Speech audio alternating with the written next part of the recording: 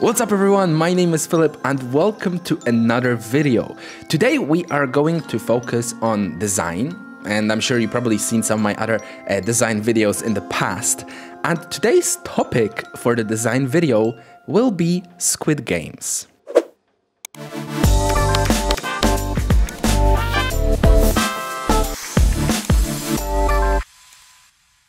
Now, I'm sure most of you already heard of the Netflix show Squid Games. Uh, they are not sponsoring this video. I'm just purely doing it because I think it's an interesting uh, kind of design challenge.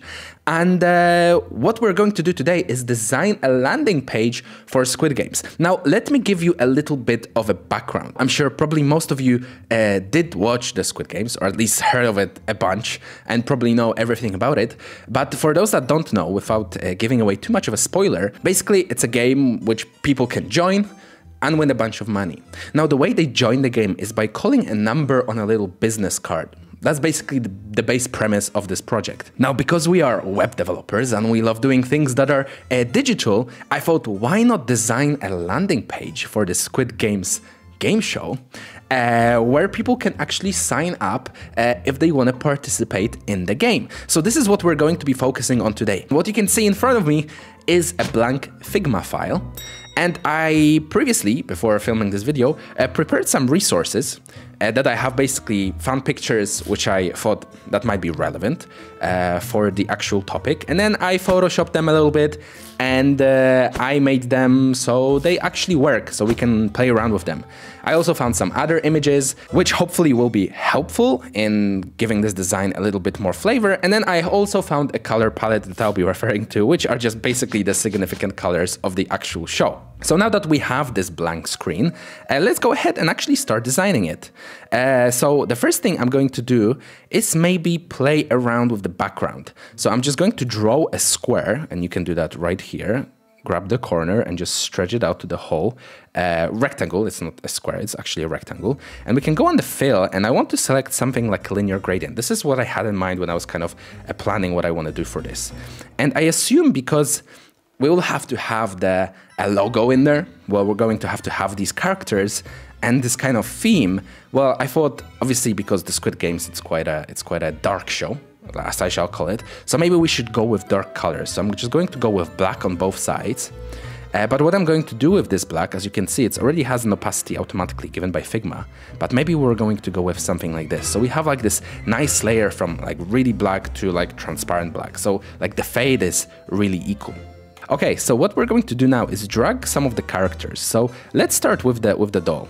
Now this is uh, quite a significant uh, character in the game that I'm sure you guys have seen, uh, definitely in all the spoilers as well that have happened to be on Facebook and all the other social media sites. And uh, yeah, actually, my thought is now that I've dragged it to the side, maybe it would be cool because she's such a mysterious like uh, object or person, as I shall call it, in the actual uh, show. Maybe we should just reveal half of her face. Um, so yeah, I think that that's kind of going to work quite nicely. What's happening here, I think, is quite nice. Okay, let's take the other character. And as I'm doing this, what I'm thinking is that possibly we could have them like overlap like this to give it that like really nice 3D effect. Um, well, give it dimension basically. Uh, so I'm going to make this guy smaller because we have this other character as well. Maybe I'm going to make them all face like the left side. So maybe we can flip him horizontally like this. Okay, and make the gun show a little bit more. Okay, cool. And now let's go ahead and get this third character. Whoa, that's a big image. Okay, I didn't realize it's that big. So let's just scroll out and zoom him down and drag him up here. And let's adjust him to be the same size as the red guy, kind of. Yeah, that seems to work nicely. Okay, let's flip him around as well horizontally. So we get him all direction and put him on top. So he automatically pops in on top. And let's just make sure that it's like half of the screen is still available. Yeah, this seems to work pretty well. Now I'm thinking that this black background is a little bit too black. Like we need something like behind these people to really like give an accent of what's actually going on. So what I'm thinking, because the whole show follows this uh, triangle, circle, and square theme, maybe we can make like a huge square like this. And let's have a look. Okay, let's uh, let's get rid of the fill and give it a stroke maybe. Let's give it like 10. Okay, well, that's small, but I can kind of get an idea for what I would want. Let's go with white.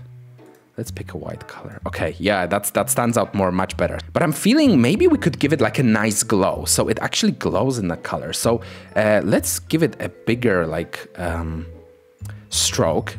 And yeah, see, that looks quite good. But I'm just going to drag this down a little bit so we don't get that little left bottom corner sticking out. And now let's give it a glow. So I think we can go into the effects and we can do a, a drop shadow and for it to be right center in the middle, we can do the X and the Y as zero.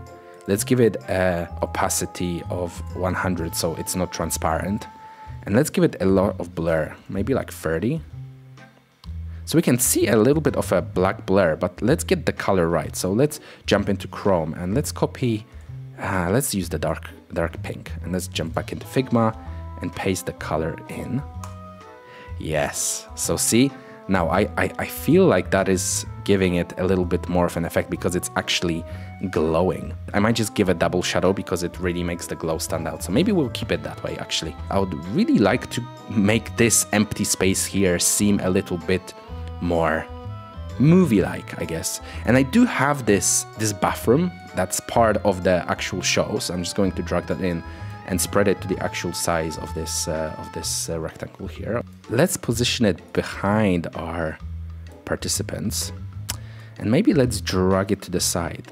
Oh, what if we drag it behind the opacity, the main background? Oh, yes. Yes, and you can see, oh, that worked so well. I didn't even expect that. That worked so well because now we don't even have that line, we can't even see that line and the other part of it is masked by the rectangle. And then, oh, this is such a nice separation. I'm actually so proud of myself right now.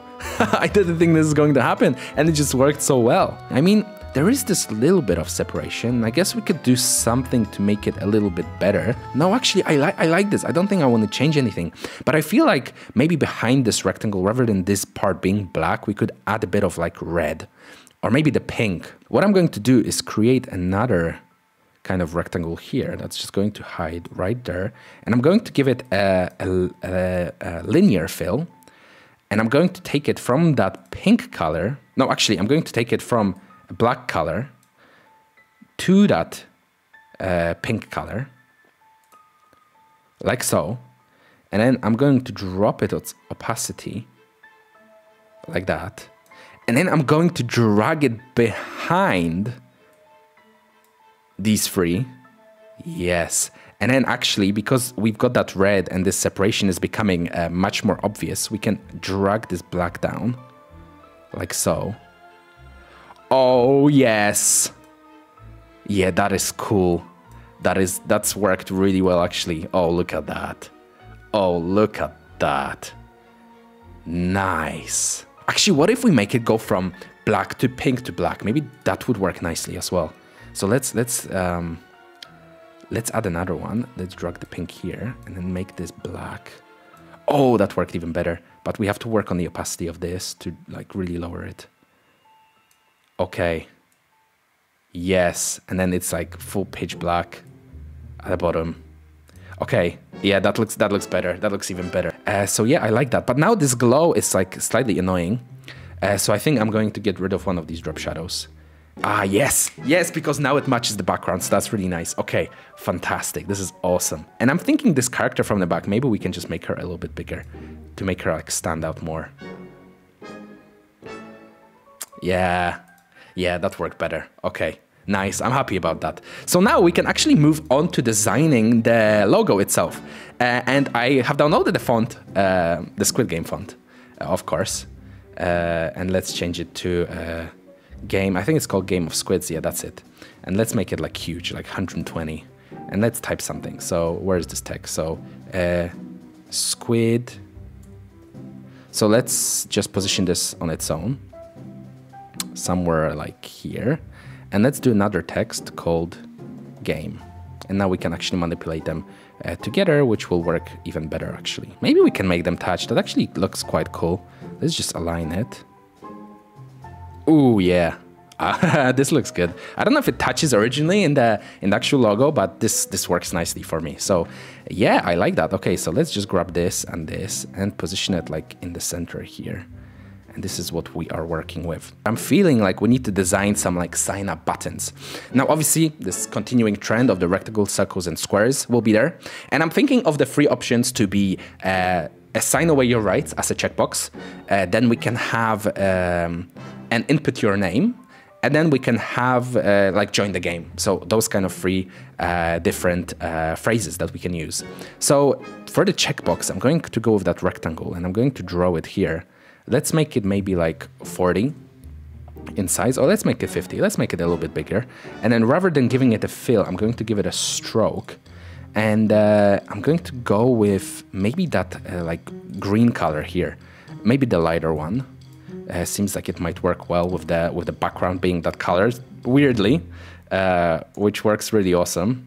Let's give it like five, maybe let's give it six to make it a bit bigger. Now we can remove the background. And yes, I like that a lot. Okay, so this is the rectangle. Now let's work on the circle. Get rid of the fill and give it a stroke. And there we go. Now we have the circle. And now let's make the triangle. Let's give it that, uh, that stroke of six and change the color to that green. Uh, and now we can remove the background. And that seems to work quite well as per the sizing. Okay, cool. So now let's add the text. We definitely have to change the size of that for it to be a little bit smaller. What about 30? So game, uh, we can make it a bit bigger. 35. Uh, sign away your, let's type all capitals because I know the letters will be similar. Sign away your rights. Like so. I can just space them away with, uh, with uh, the actual space bar. Uh, then we can do enter your name and then we can do join the game. Ooh, spooky, spooky stuff. Okay, so right.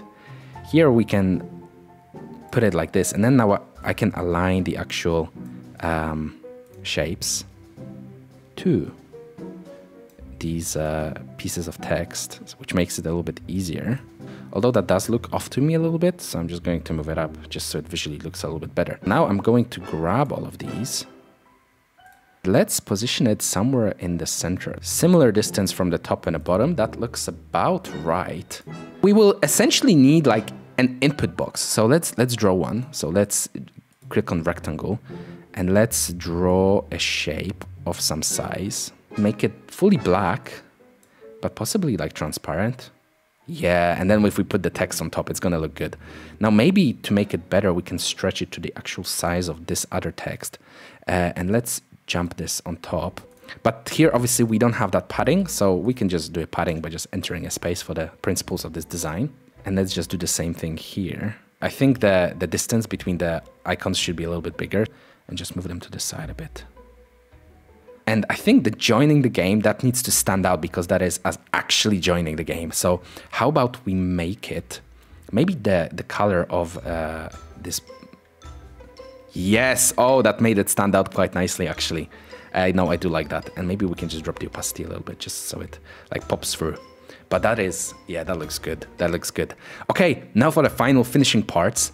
Uh, in the original logo, these are filled in, like the circle, the triangle, and the square. Those letters are filled in. So I'm going to do that, but I'm going to do it with the pink color because we have already used a lot of green here. So just for that contrast. And we can just draw it on top uh, and align it. And then uh, let's pick this pink. And we can just drag this ellipse behind the behind the Squid Games, like so. Nice. Okay, now let's do the uh, polygon, so the triangle. Align it perfectly as my OCD needs to know that I have done it right. Nice. Okay, let's give it that fill of the pink and let's drop it behind the Squid Games. Yes.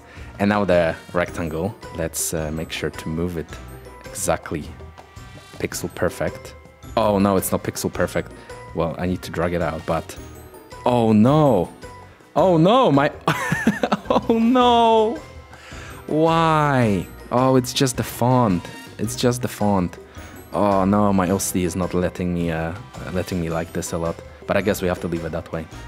I guess you won't be able to see it. uh, when I zoom out. So let's just drop it behind. And that is it. Oh yeah, it looks good. See, it added that really nice bit of contrast. How do you guys like it? I thought we came up with something that looks pretty good, to be honest. I hope you guys enjoyed this uh, little design tutorial that we did. So if you did enjoy it, make sure you smash those thumbs up button as they really help my channel grow. Uh, and subscribe if you want to see more because there will be a lot of challenges and tutorials uh, coming up on my uh, channel. So you can get to enjoy those by subscribing. And if you don't, you can always just really easily unsubscribe. Uh, thank you very much for watching. And as always, I'll see you in the next one. Bye.